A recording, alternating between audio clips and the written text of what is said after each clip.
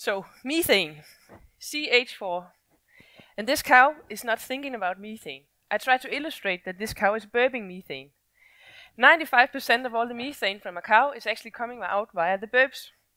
And the reason for burping is that the cow is a ruminant. It has four stomachs. The first one is also the biggest of them, and it's the rumen. It's not similar to our stomach at all, and you will know why in a short. In the rumen, a lot of microorganisms live in oxygen-free condition, where they help to digest the plant material that the cow eats, and we cannot eat that because we don't have that rumen. So the microorganisms, they provide energy for the cow, and the cow provides a home for the microorganisms. So this is a really nice symbiosis.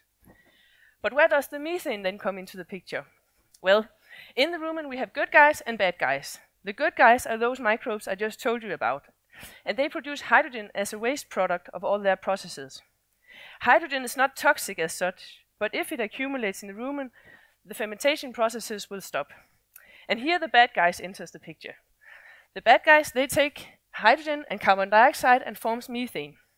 And remember that methane is 84 times stronger greenhouse gas than carbon dioxide is. That's why we care about methane.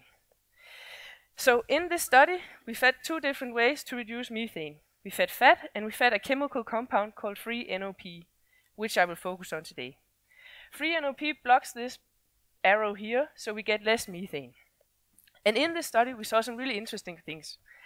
We saw that 3-NOP decreased methane around 25%. Really nice. But unexpectedly, we saw that cows started eating less when we fed them 3-NOP.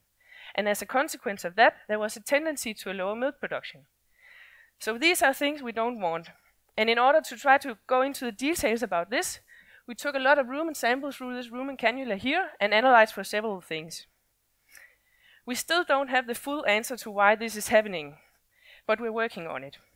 And to sum it all up, 3-NOP is a potent way to reduce methane, but we need to remember that the rumen is a very fine-tuned system developed through thousands of years, and methane is not just produced for fun. So when we want to manipulate with the rumen, we need to focus on harming the bad guys without harming the good guys in the rumen. And then as a final thing, I think we should stop blaming the cows, as they're actually doing a quite good job digesting something that we cannot digest. Thank you.